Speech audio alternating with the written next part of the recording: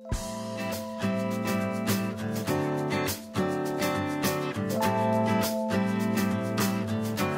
so we're gonna show you how to put the blade on this uh, tool here real quick. You can see you got arrows on the blade here, and then you have an arrow going this way. So when you put the blade on, you want the arrows pointed that direction. So flip it upside down, hold the button in the back, take off the top nut, put the blade in with the arrows pointing the right direction, tighten that on there put the wrench in, still holding the button in the back, tighten it up.